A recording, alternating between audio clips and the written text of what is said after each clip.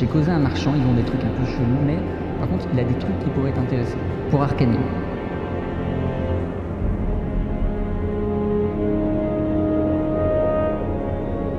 Vous, vous avez un regard différent. Vous cherchez un informateur. Et je suis votre homme.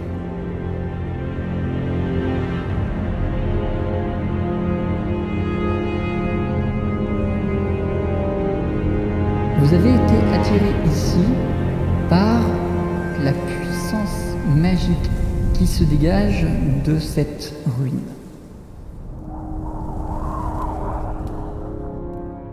Tu vas t'approcher du bord. C'est un trou comme si c'était le sous-sol d'une tour qui s'était effondrée. Vous avez du coup l'escalier qui vous permet d'y accéder ici. Des ruines et des bouts de caillasse cassés, mais surtout un gouffre creusé relativement récemment qui s'enfonce sous terre. Waouh, mais qu'est-ce que c'est que ce truc là What? Si vous voulez juste une petite lumière, voyez avec Valdev. Valdev, pour le coup, maîtrise le feu, même Ah, si elle maîtrise mieux la fumée. Il peut faire ça et avoir une petite flamme au bout du doigt. Ah bah dis donc C'est vrai que mon élément c'est le feu, mais je vois pas comment je peux utiliser le feu en fait, c'est juste ça. Valdev, puisque c'est maintenant Oui, que tu c'est te réveilles, j'ai Là- une idée. Dis donc, moi j'étais endormi pendant 15 minutes, là je suis en plein réveil. Hein. On déchire un morceau de tissu bah, du nain par exemple ou du gnome, un truc, euh, ils en ont trop sur eux. On peut arracher une branche sinon, hein? Fais pas chier. Non, ça parce que ça hein. marchera pas. Ouais, On c'est inflammable, hein, ça pue. Hein. Voilà, bah on l'enroule autour d'une branche, Ok, ok, vas-y. Tu l'enflammes et on jette dans le trou pour voir. euh, la Vas-y, on fait ça, on fait ça. Vous préparez une torche. Bah, moi, pour moi, je voulais d'abord la lancer pour voir la profondeur, euh, si on avait du bruit. vérifier avant. Ou alors on m'attache à une corde parce que je suis léger. La torche va tomber quelques mètres plus loin. Le couloir lui descend tranquillement, c'est pas un gouffre, c'est vraiment juste un truc qui descend un peu en pente. A priori, pas de danger apparent en tout cas. La torche n'a pas déclenché de piège. Le tunnel un peu étroit mais dégagé, ça arrive quelque part puisque vous avez entendu des échos. On y va tous ensemble par contre, on Euh, fait pas un à la suite. Bah, Valdev, vas-y en premier, parce que toi, t'as les moyens de pouvoir ok, nous ouais, j'ai éclairer. Tu es oui, et tu peux rentrer dans le tunnel. J'ai les moyens de mourir comme une merde, vas-y. Non, je- mais vais vaut mieux que tu ailles en premier, sinon on verra rien. euh. Ok, ok, j'y vais. Vous entrez tous les uns après les autres dans tous les cas après Valdev Mais lui d'abord parce qu'il a la lumière. Très bien, d'abord, a la lumière. J'y vais avec le doigt en flamme, comme ça je peux éclairer autour de moi. Le tunnel débouche assez rapidement sur un corridor au mur fait de pierre, à l'odeur de renfermé qui sent encore plus mauvais que Vris, et sans aucune lumière à l'exception de celle de votre torche. On est aux Z-Event là ou quoi Oh là là, la sirène, elle a mangé le piment, ça pue la merde.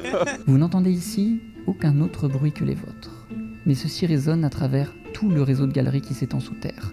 Si vous vouliez être discret, c'est déjà trop tard. Après, dites-vous les gars, dernier recours, on a une potion d'invisibilité chacun, si jamais ça s'enroussit. Ah, En vrai, on peut y Ouais. aller tous ensemble. quoi. Là, on y va, mais toi, passe devant. Ouais. Je te rappelle que tu as le feu. J'ai pas envie de passer pour euh, le mec un peu frêle, mais j'ai un point de vie en moins comparé à vous. Moi, je préférerais laisser quand même quelqu'un d'agile qui pue en premier pour repousser quelconque menace. Bon bah, on lui donne un morceau de truc euh, torche là, euh, qui a dû tomber par ici, et puis on le file à Vris pour Voilà, qu'il avance récupère la torche et on la. Allez, Du coup, c'est Vris qui prend la torche? Fort bien. Fort bien. Vous allez pouvoir explorer ce donjon relativement librement, c'est-à-dire que vous allez déplacer vos pions, comme je vous l'avais indiqué un peu par par pas, pour explorer la zone. Dès que vous trouverez quelque chose, je vous dirai de vous arrêter, je vous décrirai ce que vous voyez. On te les suit, gars Vris on te suit, on te va s'avancer, passer dans un très fin couloir, il va devoir passer de profil, à se demander comment est-ce que Borch, avec son ventre, va passer, mais on se posera la question plus tard. Vris avance.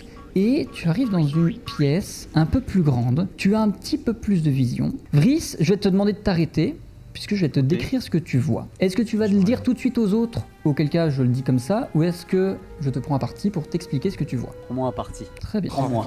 Prends-moi. À quelques mètres, au sol, tu vois quelque chose briller.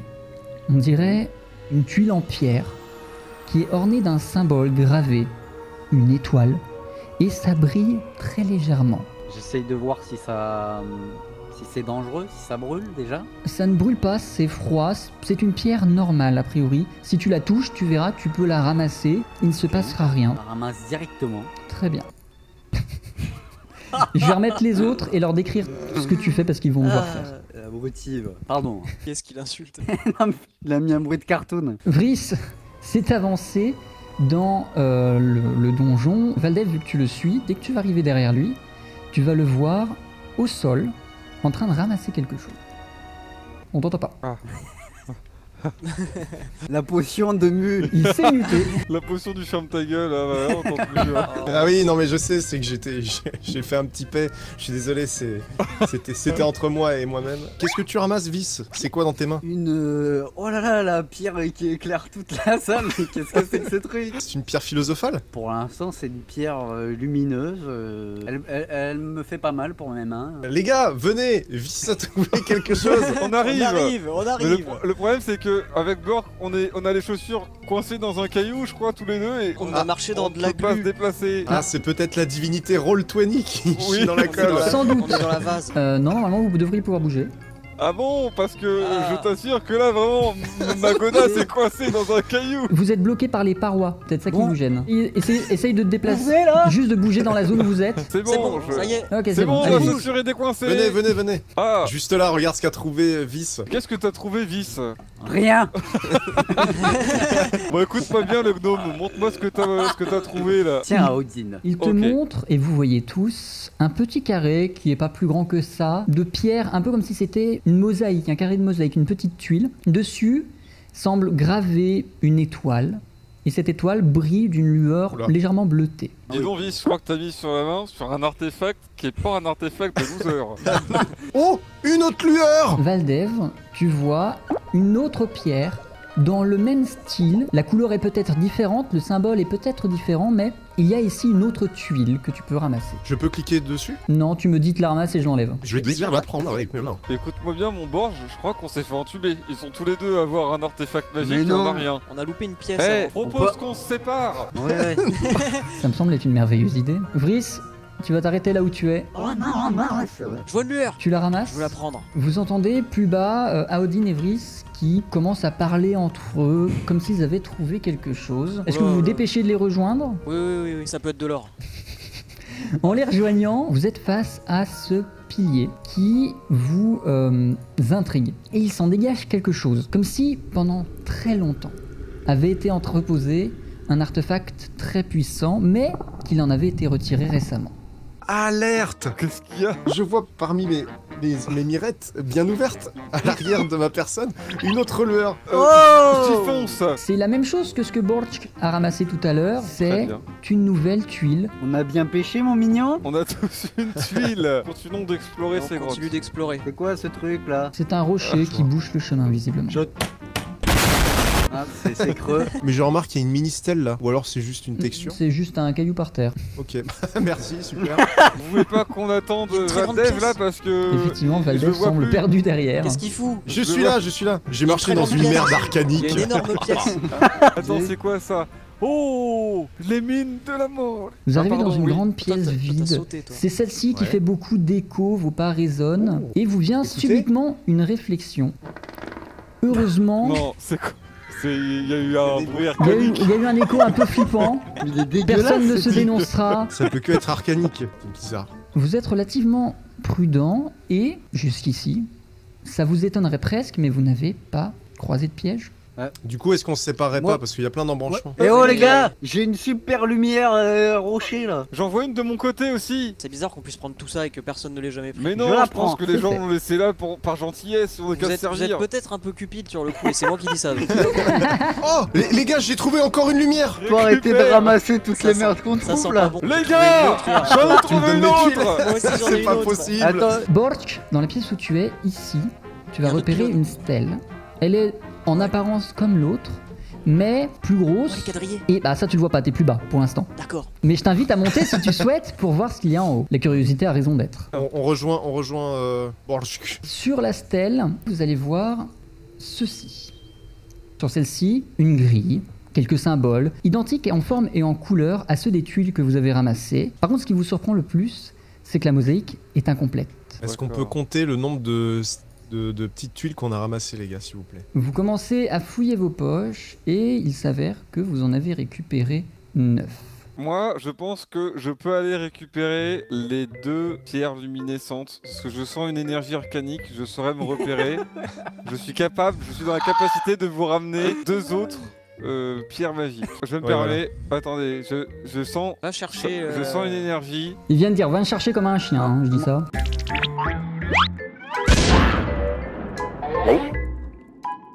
Comprends comprends rien du tout. Oh putain.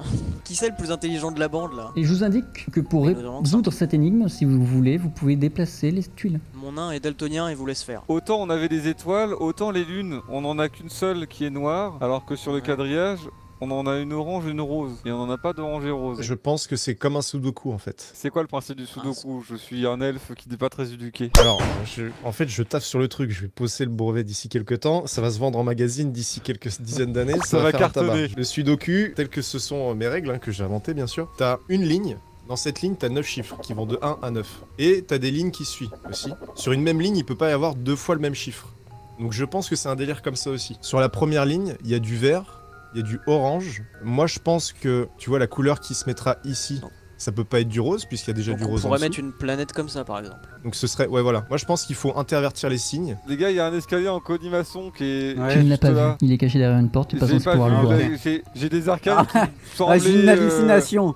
Pardon. Je sens que résoudre cette énigme ouvrira une porte sur un escalier en colimaçon. Vous verrez, j'aurai raison dans 3 minutes. Si ce que j'ai placé en bas est bon, la lune elle va être ici. Pourquoi t'as mis le. Elle pourrait être ça ici?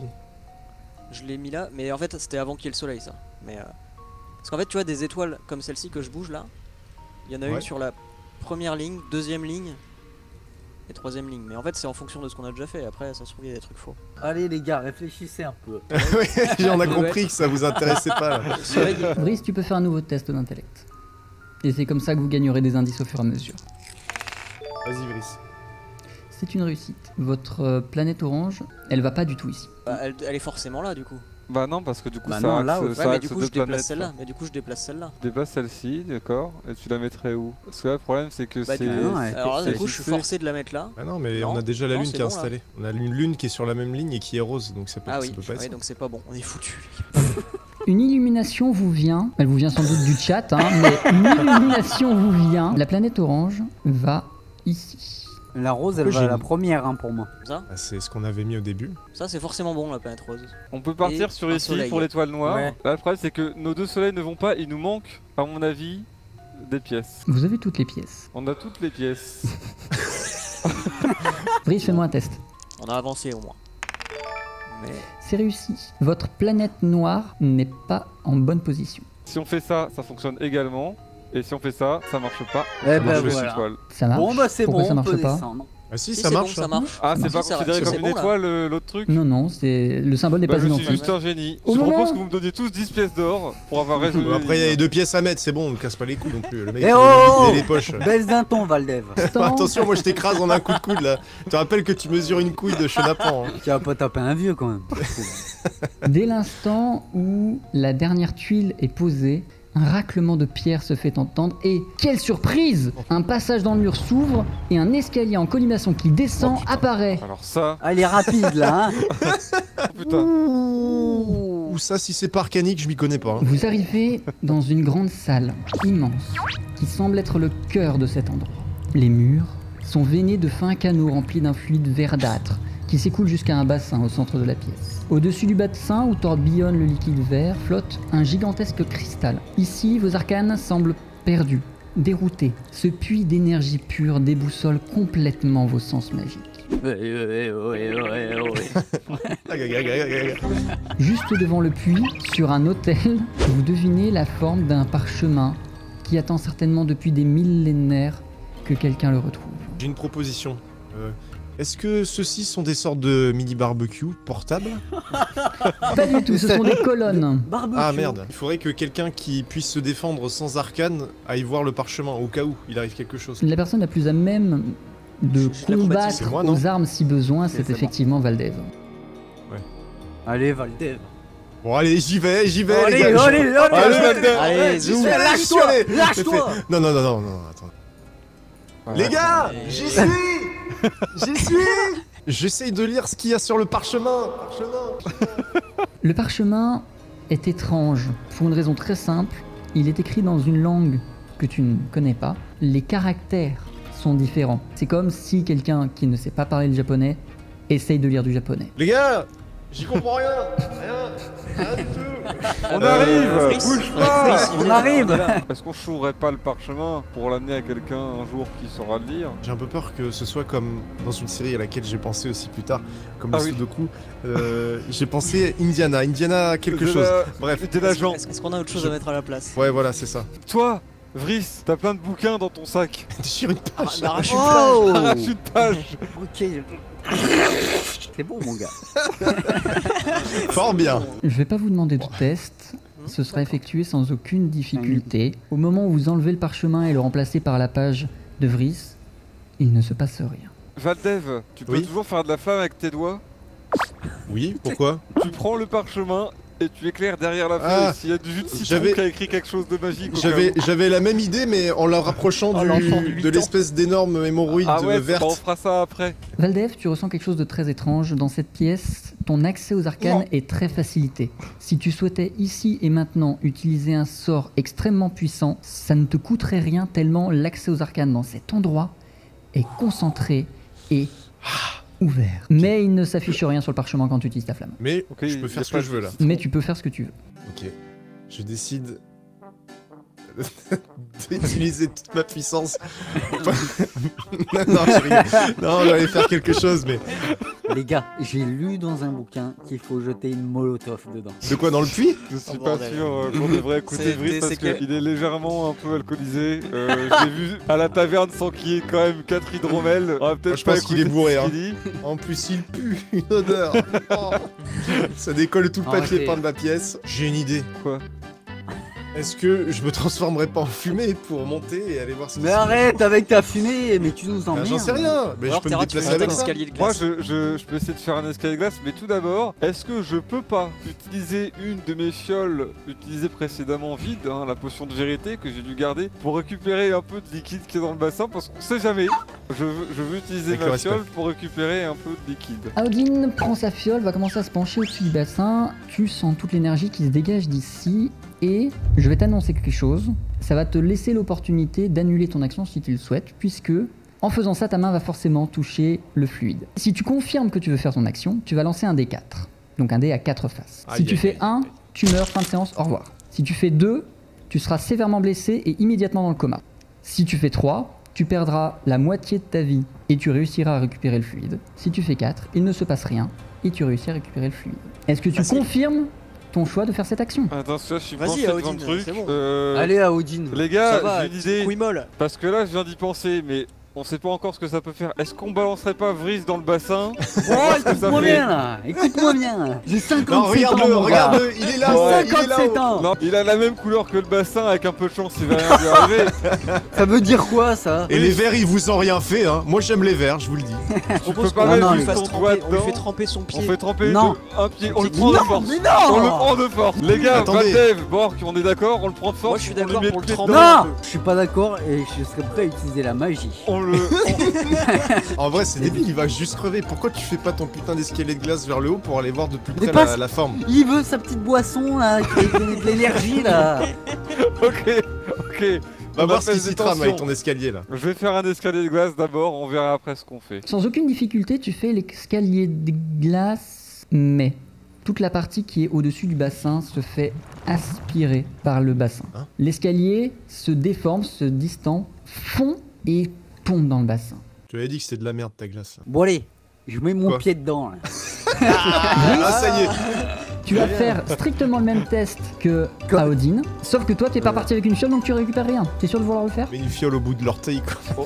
Oh, J'ai un médaillon, il est certainement accroché avec un. Oui, tu as une chaîne au bout du médaillon. Chaîne plus, plus fiole et on essaye. Vris, le petit gobelin se penche au-dessus du bassin avec la chaîne de médaillon, la fiole attachée au bout. Il essaye de faire plonger dans le fluide et au moment où ça touche, tout se dissout progressivement. Ça remonte, ça remonte le long de la fiole. La Oh. fiole est dissoute, elle n'existe plus. Ça remonte autour du médaillon. Le médaillon, ça va bientôt atteindre les bras de Vris. Qu'est-ce que tu fais Je- 3, C'est toi, Brice. Il est mort 2.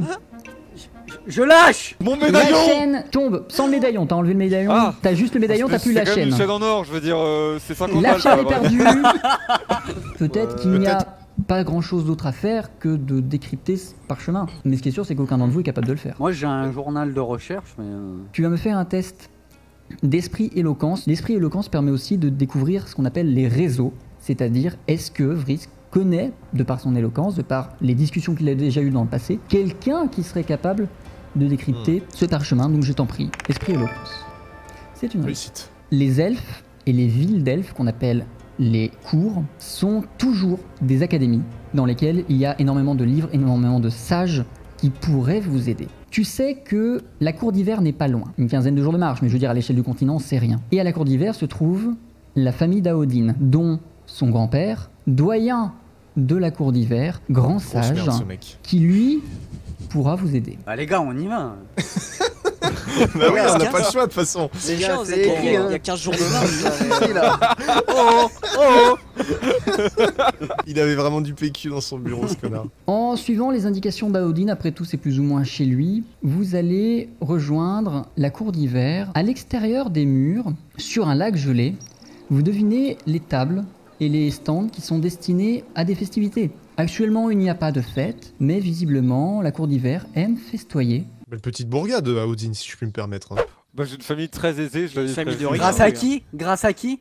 Comme toutes les châtelleries elfes, la ville se résume en un immense et gigantesque bâtiment, divisé en une multitude de quartiers, de coursives, le tout formant une véritable cité d'intérieur. Vous y arrivez et la ville vit son cours normal. La cour d'hiver est dans son plus bel apparat. Aodine, c'est toi qui les as guidés ici. Est-ce que tu souhaites faire quelque chose en ville avant de se rendre à l'académie, rendre visite à ton grand-père? D'abord, les gars, je vous préviens tout de suite, pas de familiarité avec ma famille, c'est du haut standing. Je suis en avec eux, mais si je me ramène avec vous, essayez un peu tenir le niveau.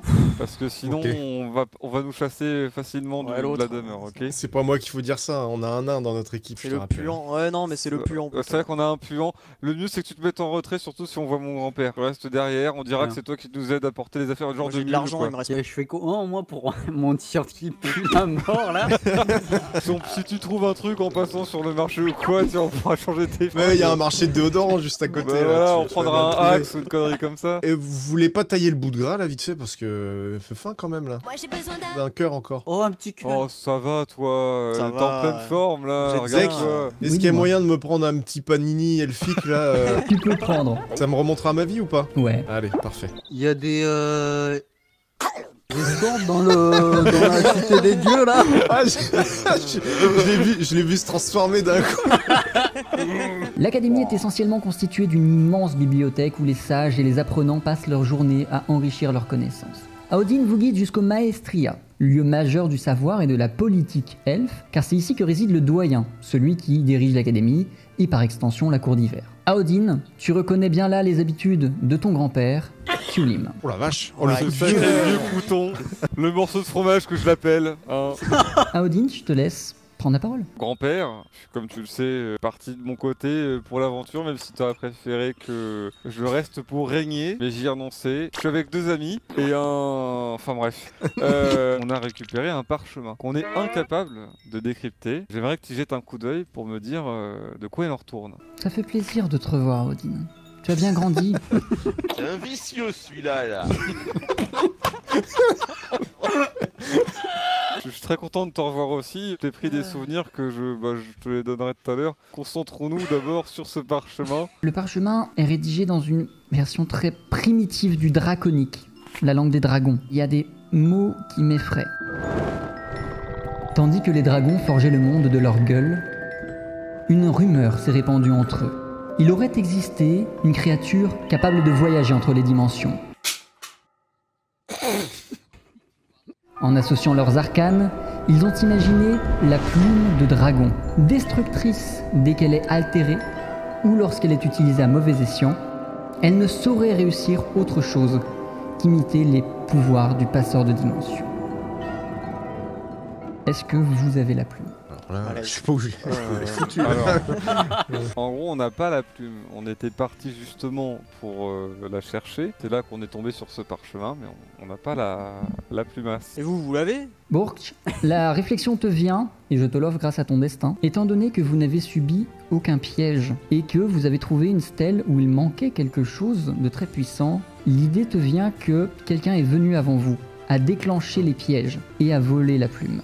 Papy, t'aurais pas eu vent de quelqu'un qui aurait trouvé euh, une certaine plume En imaginant que la théorie de ton ami nain soit vraie et que quelqu'un ait volé la plume avant que vous n'arriviez, alors il peut vouloir essayer de faire quelque chose, et donc de la rendre destructrice. Elle serait capable, si elle explose, de raser le continent. Quelqu'un qui s'intéresse à la plume de dragon va vouloir aller à la vallée des dragons. Mais s'il a pris de la On puissance déjà, il... ton, ton grand-père, il a pas des trucs à nous conseiller euh, Tu peux lui parler, il est en face de toi, déjà un peu de respect Papy. Grand-père de mon ami euh, Audin, est-il possible que vous nous conseilliez quelques objets, quelques peut-être euh, arcanes? Est-ce qu'il y a des choses qu'on doit faire pour aller là-bas? Tu le dis si je t'emmerde. hein. Il faudrait que vous, si vous vouliez absolument partir dans cette idée-là, trouviez quelque chose qui puisse vous protéger des arcanes. On peut aller voir mon père, j'aurais préféré ne pas le faire, mais on peut aller voir mon père. Vous quittez Tulim en le remerciant sans doute de ses généreux conseils et de toute l'aide qu'il vous a vieux. apporté, Tiens, pour personnel. et vous rejoignez le père d'Aodin ailleurs dans l'académie. C'est un homme très strict. Il est un peu intimidant et dans un sens vous comprenez pourquoi est-ce qu'Aodin a décidé de pas rester à la cour d'hiver toute sa vie. En voyant Aodin, son visage se ferme. Aodin, tu le sais, il a pas aimé que tu refuses la régence de l'académie. Comment est-ce que tu l'appréhendes? Comment est-ce que tu l'approches? Papa, Ça fait longtemps.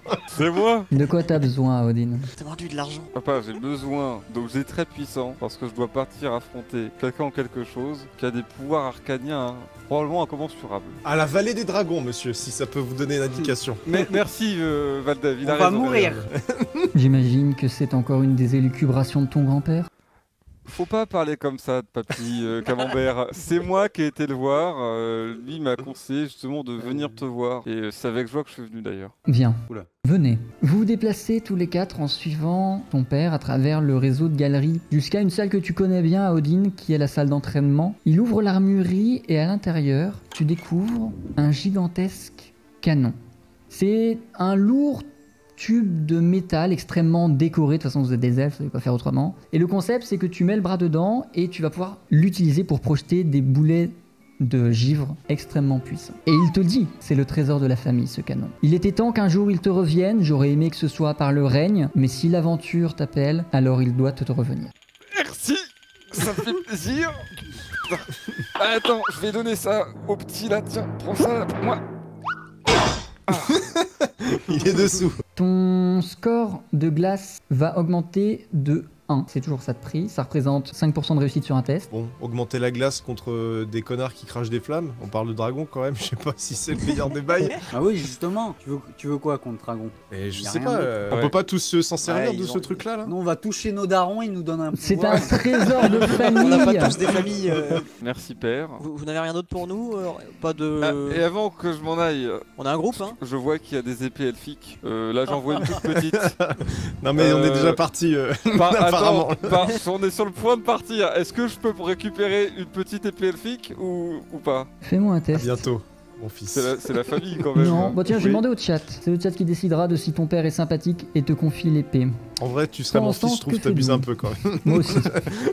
que faites-vous pendant que Audin essaye de négocier avec son père pour récupérer cette euh, épée finement gravée, très jolie, très mignonne, qui fait de la glace, tout ça, tout ça? On regarde un petit peu autour de nous dans l'armurerie, il y a peut-être des choses qui peuvent nous Ne intéresser. vole aussi. pas par pitié, c'est chez Je- moi. Jamais je me permettrais. Après un très long échange avec ton père, il décide et accepte de te confier cette petite euh, épée finement gravée. euh. bah, merci papa. Je n'abuse pas de ton temps. Voilà, on va y aller. Promis, j'arrête là. Accéder à la vallée des dragons n'est pas chose aisée.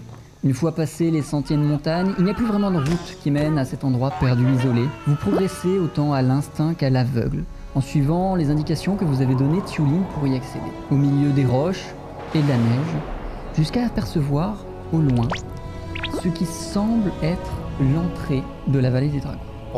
Tu sais que ça Vous voyez face à vous deux obélisques, couverts d'anciennes runes, mettant certainement en garde contre les dangers auxquels vous faites face en traversant cette limite. Mais vous savez pas lire les runes. Par contre, ce qui vous inquiète plus, c'est une petite silhouette trapue qui s'avance lentement sur le point de franchir cette limite. Vous la reconnaissez C'est Résia Résia Viens. Tu le alpac dès que tu le vois? Bien sûr, non mais c'est Oh, bon, Résia. sinon, on regarde, on regarde ce qu'il fait discrètement. Il a pas l'air bien coiffé là, si ça se trouve, il s'est passé quelque chose. hein. Qu'est-ce que vous faites du coup? On se cache et on l'espionne. On se cache, on se on. Celui d'entre vous qui a le moins de discrétion, à savoir Brice, je te laisse faire un Ah test de furtivité. Je t'empêche pas de te mettre moins que ce que tu as réellement. Tiens donc. Non mais Mais ça veut dire que c'est peut-être utile. Oula, c'est faire confiance en un MJ ça. fais un G, euh, un G de 2. Ah non, non, non, genre. mais- deux. Ouais, si bien 2. Quel cauchemar. C'est un échec, 6 sur Ah 2. mince. Il aurait lancé la vraie valeur, effectivement, il aurait réussi. Brice, volontairement, fait un peu de bruit, ce qui attire euh, le regard et l'attention de Résia, qui se retourne. Il ne dit rien, il semble étonné que vous soyez là. Bon, euh, vieille branche, qu'est-ce que tu fais ici là? Bon bah, euh, petite balade de santé. euh. Arrête, arrête, on se connaît depuis 20 ans. Qu'est-ce que tu trafiques là? Qu'est- Qu'est-ce que tu fais là? J'ai envie d'essayer quelque chose, j'ai trouvé des petits artefacts. Bon. Montre euh, Ouvre là, là, le petit sachet là, qu'est-ce que ça le... Il te montre une fiole remplie d'une potion irisée, toutes les couleurs de l'arc-en-ciel. C'est très joli au demeurant, mais euh, c'est pas la plume. C'est, c'est- ça sert à quoi ce- ce- cette substance? Ça permet d'aller à Arcanime. C'est la plume de dragon, je l'ai mise en poudre, je l'ai touillée, alambic, tout ça, bim boum, potion. Et maintenant je vais boire. Attendez, et il est en train de nous dire que là il, il avait la plume de dragon? Mais Et qu'il en a fait de la espèce, smoule? espèce de... De con. Je sais pas les termes médiévaux, mais... Alors là, alors là toi... T'es bien sûr que c'était une plume de dragon que t'avais à la base et que c'était pas juste une plume de, pou- de pigeon ou un truc comme ça tu sors de, de- de ta cachette pour dire ça Eh, attends. Outré, il Euh, sort de sa cachette. Eh oh, trop du cul là. T'es sûr que c'est une plume de dragon que t'as utilisée Vu comme ça, a réagi arcaniquement quand je l'ai réduite en poudre, aucun doute. Oui, bon, on va t'arcaniquer nous aussi là, tu vas voir. Il y a, y Arcanique ta mère, c'est un truc de ouf non, non, non, non, non Dit-il en débouchant la potion, prêt à la boire. Oh non, ne bouge pas Ne bouge plus. On va s'approcher doucement. Tu t'approches, je Ça bois. Ah, euh, je recule. Je commence à faire le tour sans qu'il me voie. Fais-moi un test de perception, s'il te plaît. De furtivité, pardon, furtivité, furtivité. Échec critique Ah, c'est un échec Bah, critique. Ah Regarde, me casse Ok. la gueule, c'est ça Tu essayes de faire le tour discrètement, façon nain, c'est-à-dire avec une armure de plat qui fait couic couic clink clink. Tu t'approches jusqu'ici et il te remarque et en te voyant, il sursaute de Il va peur pas la boire. et immédiatement il la boit, réflexe instinctif, parce qu'il sait que vous n'êtes pas met, que on lui met les doigts dans la gorge là. Dès l'instant où les lèvres de Résia rentrent en contact avec le liquide, vous devinez, sans aucune surprise, que rien ne se passe comme le gobelin l'avait prévu. Sa peau se tend, se tord, se déforme. Résia échappe un cri de douleur, puis de satisfaction, puis de haine violente animale. Face à vous, la créature qui était un gobelin il y a encore quelques minutes n'a plus rien à voir avec ça. C'est désormais un tas de chair difforme, assorti d'ailes atrophiées et d'une gueule énorme.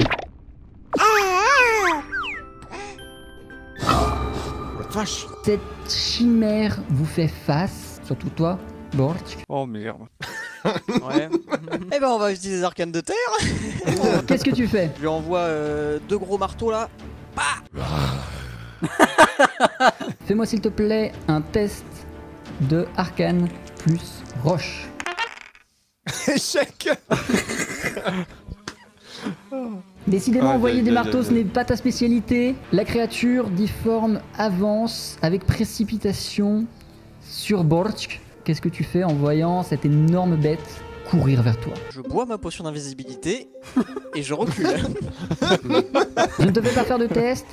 Tu vas aussi vite que possible la sortir, la débouchonner, la boire. Tu vas commencer à reculer. Les crocs de la créature se referment sur rien puisque tu n'y es plus. J'ai un canon qui m'a été offert et je me dis pourquoi pas le tester avant de le tester sur un truc plus gros, autant le faire maintenant. Très bien. Euh, J'utilise mes arcanes de glace pour le faire passer dans le canon et l'envoyer en essayant du moins un énorme boulet dans la tronche. Allez mon garçon. On est sur un beau 16 les gars normalement là j'imagine que Allez, allez. c'est gagné. S'il te c'est plaît. gagné. Mais espèce de... Comment c'est possible? Mais il marche pas ce canon de merde Tu vas l'envoyer à côté, tu ne maîtrises pas la puissance de ce truc et tu vas devoir prendre un pas, deux pas en arrière et le boulet lui ne touchera pas. Oh merde Une puissance arcanique a éteint ma caméra. Effectivement, je viens de voir ça. Moi, je recule, potion d'invisibilité. Est-ce que je peux l'attaquer d'ici où je suis euh Tu peux utiliser tes arcanes de corruption pour essayer de l'aveugler. Hein. C'est une réussite. De ses mains vont sortir des volutes noires violacées, former des espèces de fils, comme des fils de marionnettes, qui vont aller jusqu'aux yeux de la créature. Et Borch, toi qui es juste devant, tu vas voir les yeux devenir totalement noirs. Tu devines qu'elle ne voit plus rien. Tu te diras, ok, on a peut-être gagné une ou deux actions. Bah, je pense que je vais me rapprocher de mes coéquipiers là, parce que je suis un peu devant la créature. Peut-être tenter de faire une, euh, une barrière de terre avec mes arcanes pour nous protéger. Ça va faire beaucoup de jets de dés. C'est que t'es tellement à chier depuis le début en termes de lancer, j'ai peur que ça chie dans la colle. Je te laisse euh, déplacer ton pion là où tu souhaites te mettre et tu vas me faire un test de arcane roche pour créer le mur dont tu souhaites, euh, derrière lequel tu souhaites te protéger. Par contre, euh, il va perdre son invisibilité du coup. Par contre, il va perdre son invisibilité, mais après il sera derrière un mur. Après, après m'être déplacé. Après m'être déplacé. C'est pas possible. Ouh Quoi Mais c'est pas possible On est mort. Tu essayes de monter ce mur de pierre alors que tu es à peu près au milieu du terrain. Tu vois tes mains réapparaître, la potion finit son effet, tu fais une action, mais les pierres ne s'entassent pas et elles tombent comme une mauvaise tour de Capla. Et la créature avance vers là où elle a entendu le bruit et va cracher ses flammes. Borch, tu viens d'agir, donc je ne vais pas te permettre de réagir à son action. Et tu es en pleine ligne de mire. Je vais donc faire un test. S'il est réussi, voilà. S'il est raté, Oui, tu auras la la chance. chance de ne pas être touché par ces flammes. Ah bah comme par hasard, ça réussit.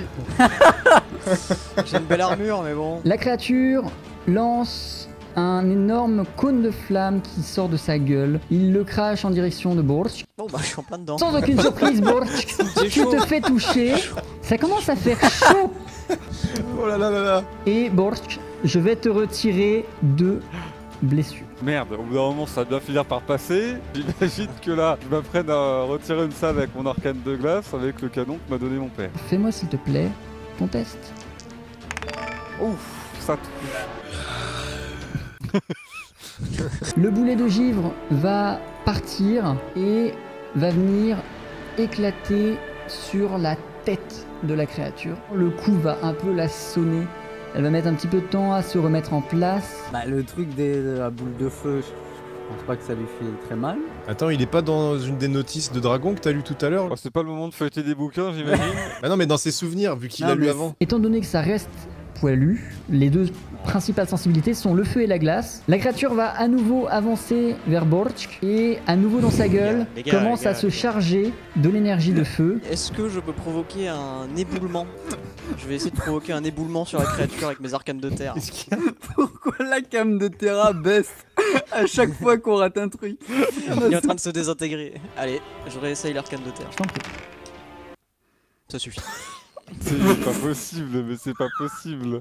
Tu essayes de faire peut-être quelque chose un peu trop grand, un peu trop massif. Je vais te retirer un surmenage pour cet effort. La terre tremblera légèrement, mais aucune pierre ne s'effondrera. Écoute, là, c'est un peu tendu pour mon pote. euh, C'est pour ça que je me rends invisible. Vu qu'il pèse de rien, je, je décide de courir vers lui et de le prendre sous mon aile.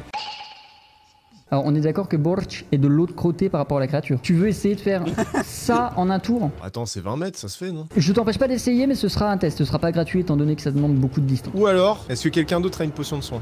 J'ai une possibilité de guérir avec J'ai une mes potion de arcanes. soin. Parce que moi, ce qu'il y a, c'est que j'ai les... mes arcanes de feu. Je suis fait pour lui brûler le cul. Je vais l'attaquer, comme ça, il va être occupé, et comme ça, vous aurez le temps de partir. Tu vas essayer Du coup, j'étais de là. lancer du coup un cône de flamme, quelque chose comme ça? Oh, une grosse boule dans, les... dans le cul, là, j'en ai plein. Fais-moi s'il te plaît un test d'arcane sans fumée, puisque tu lances des flammes, tu ne lances pas des fumées.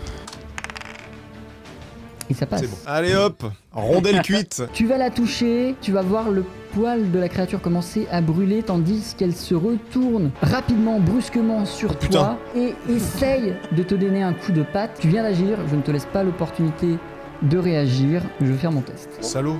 C'est un hop, échec. dans ton cul. Ah, le trou de balle en chorizo, forcément, c'est pas facile. Hein. Les obélisques, elles, sont- on peut pas les utiliser. Je vous empêche pas de casser des obélisques euh, extrêmement Faire vieilles. tomber sur euh, la gueule. Oh, ouais, ça peut me tomber dessus. S'il est près d'une obélisque et qu'elle est assez haute, je peux peut-être me déplacer Un petit peu. dessus. Tu vois, genre là, ah bah, hop, j'ai un champ de tir, je vise le bas de l'obélisque pour Ouais. que ça lui tombe sur la tronche. Je suis- je suis- je suis ici, hein. Ne rate pas, Ah bah si je rate mon dé, euh, bah, ne rate pas s'il te plaît. c'est quoi comme test que je dois faire Arcane euh, Arca- et glace, du Arcane coup, si tu glace, lances un boulet de glace. Un bon 16 des familles. Je rêve d'un échec critique. Non, ça passe. Celui-ci ne cédera pas, mais il est suffisamment abîmé pour qu'un deuxième coup le fasse tomber. Il est très probable qu'il s'effondre sur la créature. Je tente de lancer une fiole de vif-flamme sur le- l'obélisque. Fais-moi un test d'habileté perception. Oula. C'est un Oh échec. Elle va tomber au sol, juste derrière la créature. Il y a peut-être un coup à jouer. La zone ici va être mise à feu. La créature va essayer de s'acharner sur Valdev. Il continue de s'approcher pour essayer de lui mettre un nouveau coup de Ouais. patte. Je me mets à poil et j'agite tout pour le surprendre un peu. je vais faire euh, mon nuage de fumée opaque euh, pour devenir intouchable. C'est bon. C'est réussi. Valdev, tu te transformeras temporairement en fumée, juste assez pour réussir à éviter le coup de la créature. Ça durera jusqu'au prochain tour. Borch. Si je bois ma potion de soin maintenant, ça me fait un tour. Ça dépend ce que tu fais après, mais ça fait l'action mineure. L'action majeure, donc tu peux faire une action mineure derrière. J'aimerais me déplacer et au moins aller me cacher ou avancer. Vas-y, je te laisse te déplacer, tu peux bouger à 5-6 mètres, pas plus, et je te rends les deux blessures. je vais aller en hauteur ici.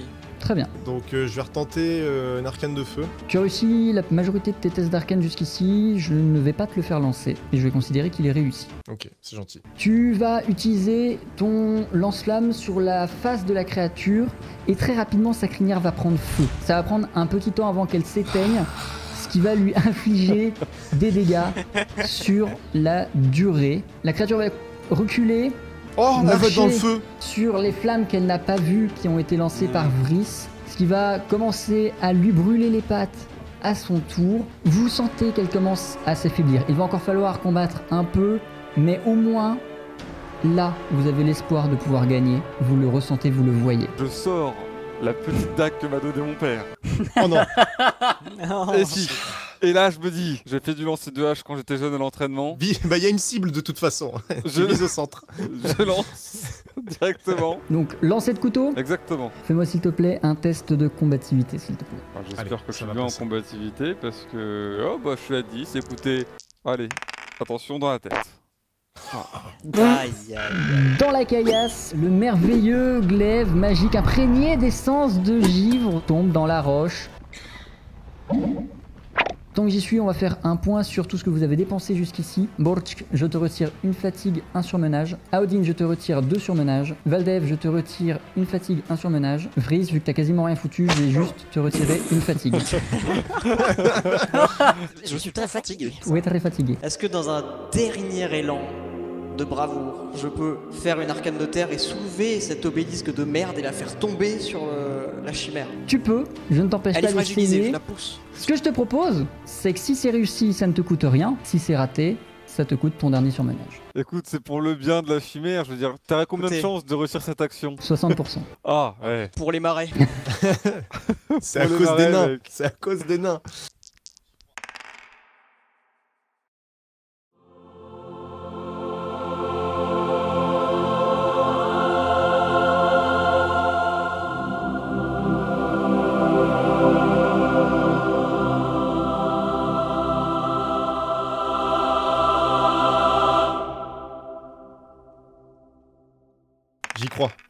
Crois. Oh Sur le fil, sur le fil.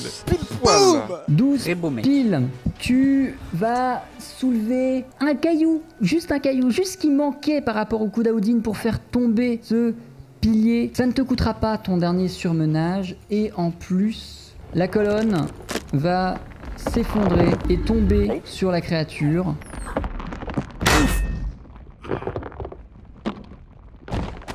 Vous pouvez désormais agir librement sans faire de test. À vous de décider ce que vous faites de cette créature.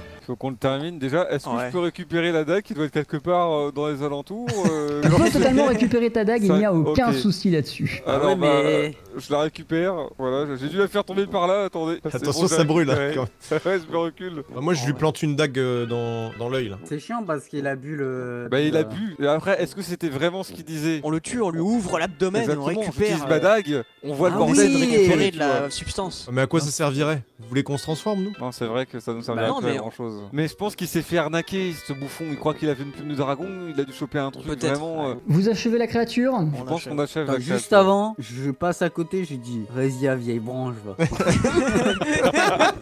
On en aura vécu des choses ensemble. Je voulais pas que ça termine comme ça. Vous achevez la créature, un cri de douleur va résonner dans la vallée des dragons. Vous entendez du bruit là-bas-dedans, le remue que, le remous que vous avez fait commence peut-être à agiter les habitants de la vallée. Et assez rapidement, vous vous dites qu'il va être temps de décamper pour éviter, en plus d'une chimère, d'avoir à combattre un dragon. Au final, alors que vous pourriez vous réjouir de cette victoire, vous réalisez que toute cette aventure n'est qu'un échec. Vous n'avez jamais vu la plume de dragon, vous n'avez pas pu l'utiliser, la quête personnelle de Vris n'a pas vraiment avancé, il n'y a rien à récupérer sur la créature difforme inerte au sol. Vous n'avez plus qu'à rebrousser chemin pour chercher une autre quête, en espérant qu'elle soit plus fructueuse cette fois-ci. Au final, pourquoi les bandits voulaient-ils le collier de Borsk Que veut vraiment Vris avec Arcanim Il reste beaucoup de mystères à résoudre en Arcantia, mais quoi qu'il advienne à partir de ce moment-là, c'est une autre histoire, une autre quête, une autre aventure que nous ne jouerons pas ce soir.